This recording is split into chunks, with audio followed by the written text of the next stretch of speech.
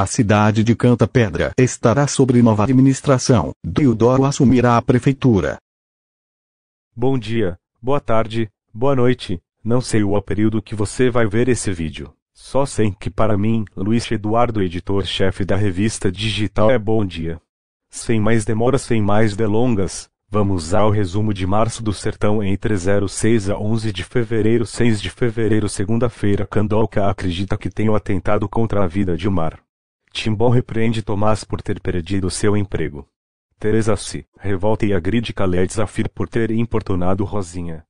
Márcio descobre que a gravidez de Cira é falsa.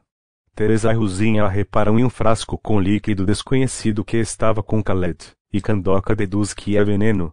Sabá Bodó teme ser descoberto por suas falcatruas. Khaled é preso. Lorena aprova o novo visual de Firmino. Cira se une a Nivaldo em Sabá. Labib é oficialmente aceita na família de Myron. Diodoro humilha Pageu na frente de Vespertino. Firmino anuncia que José retomou seu posto de CL na JM Shaddad. 7 de fevereiro, terça-feira, José desiste do cargo e indica Firmino para ser novo CL da JM Shaddad. Anitta e Joel se beijam. Cira aceita trabalhar na casa de Nivalda, e Sabá fica apreensivo. Laura é demitida, e Firmino assume o cargo de CEO. Firmino pede Lorena em namoro. Omar pede para Maruan retornar ao Azul. Pageu quer voltar para casa com Diodora. Nivalda comenta, na frente de Zira, que Tertualinho envenenou a Sud intencionalmente. Diodora decide se unir a Flora e Vespertino contra o coronel, Sabá e José. O coronel se encanta pela pastora Dagmar. Firmino chama a Candoca para trabalhar com ele na JM Shaddad. 8 de fevereiro, quarta-feira, Candoca decide ser a consultora de Firmino. Flora nomeia Diodora como diretora de obras. Dagmar pensa no coronel. Candoca, Maruan e Firmino conversam sobre a retomada dos projetos que trarão benefícios para Canta Pedra. José leva Candoca para ver a casa do Catende terminada. Omar e sua comitiva se despedem de Maruan, Labib, Zam, Latifa, Timbo e sua família. Candoca encoraja Firmino a não desistir de Lorena. O coronel fica animado ao saber que a pastora Dagmar pode se casar. Firmino aceita a sugestão de Timbo e contrata Tomás como diretor financeiro. Xavier se aconselha com Esmênia. Timbo inaugura sua plataforma petrolífera. 9 de fevereiro, quinta-feira, Flor e Vespertino chegam para a inauguração e todos desconfiam ao saber que Diodora foi nomeada diretora de obras da prefeitura. Lorena ouve a pastora Dagmar falar para Padre Zezo que é sua mãe. Lorena procura apoio em Candoca e Labib. Timbo acusa Firmino de magoar Lorena. A pastora Dagmar pede suporte ao coronel. Xavier sugere que Tertualinho contrate Laura para ajudar com a administração das contas da fazenda. Padre Zezo fala com Lorena na casa de Candoca.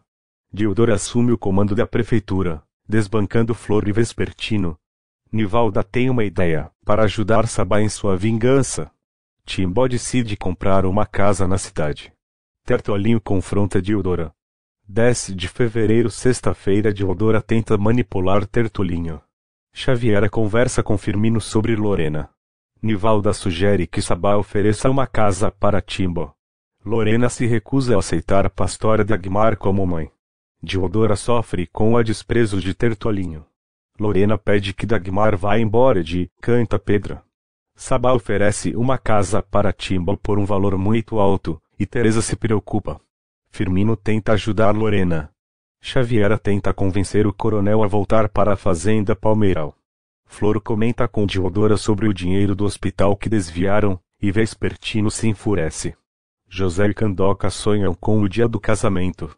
11 de fevereiro, sábado, Deodora chantageia Vespertino e Floro para não denunciar o roubo do dinheiro do hospital. Padre Zezo se despede da pastora Dagmar. Candoca e Teresa conseguem fazer Lorena considerar a ideia de conversar com Dagmar.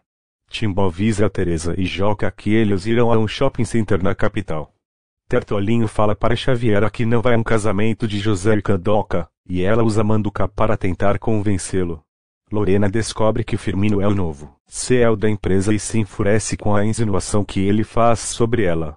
Timbaui engana Zabai compra a casa que ele ofereceu por um preço a mais baixo. Dildora chega à casa de Vespertino e se enfurece ao ver Candoca falando com Pageu. E aí tá gostando desse vídeo vou pedir que você se inscreva aqui, existe várias páginas de resumos grandes no YouTube, mas só a nossa traz vários resumos diferentes. Seu apoio é importante aqui na revista digital, a página em inovação.